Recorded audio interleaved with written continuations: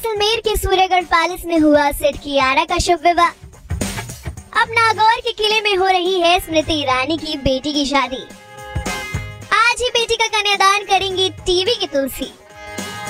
TV के popular show Kyunki Saas भी कभी बहुत ही में तुलसी का किरदार निभाकर घर घर में पहचान बनाने वाली एक्ट्रेस स्मृति ईरानी की बेटी सुनैल ईरानी दुल्हन बनने जा रही है। नौ तारीख को स्मृति की बेटी के हो जाएँगे हाथ पीले। इससे पहले लग गई थी स्मृति ईरानी की बेटी के हाथों में शगुन की मेहंदी। कनाडा की एनआरआई की दुल्हन बनने जा रही है शनेल। शनेल की शादी के फ़ंक्शन सात फरवरी से ही शुरू हो गए थे और बीते दिन की मेहंदी व हल्दी सेरेमनी का कार्यक्रम हुआ जो डिनर संग और डांस के कार्यक्रम के साथ खत्म हुआ। वहीं आज वो दिन है जब स्मृति की बेटी शनेल ईरानी राजस्थान के 500 साल पुराने किले में दुल्हन बनकर मंगेतर अर्जुन भल्ला के साथ साथ फेरे लेंगी और सात जन्मों के बंधन में बन जाएँगी। रिपोर्ट्स में सामने आ रहा था कि शनैल की शादी में एंटरटेनमेंट इंडस्ट्री के कई बड़े सेलेब शामिल होंगे।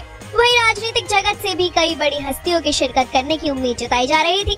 लेकिन स्मृति ईरानी ने इस वेडिंग को बेहद ही प्राइवेट रखा है और शादी में लगभग पचास लोग ही मौजूद रहेंगे जो परिवार के खास लोग हैं। स्मृति की बेटी की शादी राजस्थान के खिमसर फोर्ट में होगी, जिसे शादी के लिए दुल्हन की तरह सजाया गया है। यहाँ पर थ्री लाइट और साउंड के साथ नाच गाना और बाकी रस्मों को निभाया जाएगा। रिपोर्ट की माने तो खिमसर फोर्ट को पूरी तरह से रोशनी से ढक दिया है, जो दिखने में बेहद खूबसूरत लग रहा है। खिमसर किले में इकहत्तर रूम और स्वीट है। यहाँ खाने पीने के लिए चार फ़ूड एंड बेवरेज आउटलेट है। इसके अलावा दो बैंकेट भी है। इस फोर्ट की एक और रेगिस्तान तो दूसरी ओर झील है। आप दिन में यहाँ डेजर्ट सफारी का लुत्फ ले सकते हैं। वहीं वेडिंग गेस्ट के लिए अलग अलग एक्टिविटीज़ का इंतज़ाम भी किया गया है, जिसमें फ़ेमस डेजर्ट सफारी भी शामिल है। राजस्थान का ये फोर्ट शनैल और उनके मंगेतर अर्जुन भल्ला के दिल के बेहद